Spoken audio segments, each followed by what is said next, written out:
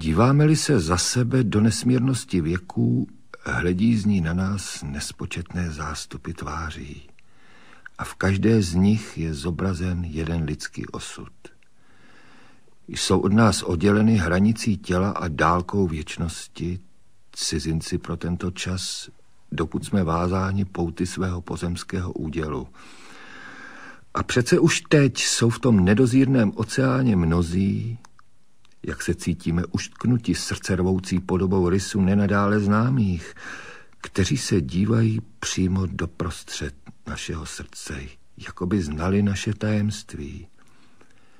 Jak často se neubráníme z pozdilé lítosti, že jsme nemohli poznat toho nebo onoho, jeho tvář a gesto nám skoupě odhalují dějiny nebo jeho vlastní svědectví v jeho živoucí tělesnosti, že jsme se s ním nemohli potkat v přímém pohledu očí, v teplé modulaci hlasu, v stisknutí ruky.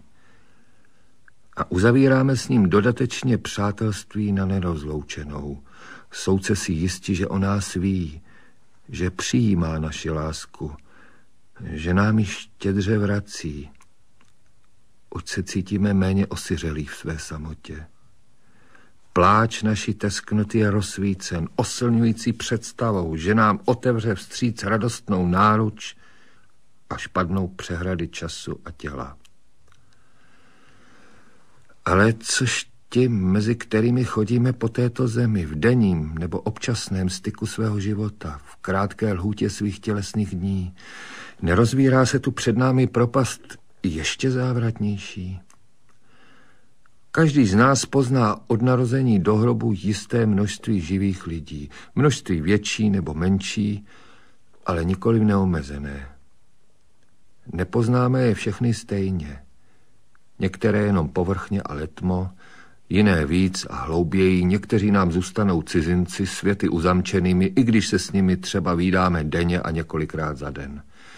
Jiní se nám odhalí víc, podle míry našeho vlastního odhalení, podle složitých zákonů sympatie, z níž vyvěrají ony drahocené vztahy, které zahrnujeme jménem přátelství. Ale kolik odstínů připouští i toto pojmenování? Nejsou ani dva mezi lidmi, které takto v duši oslovujeme, aby si mohli v poměru k nám změnit libovolně místo. Řekli bychom zhruba, že milujeme každého jinak podle toho, jak zachycujeme a odrážíme svou vnitřní látkou a tvarem své bytosti své vzájemné světlo, jak jsme schopni se poznat ve vzájemné sympatii.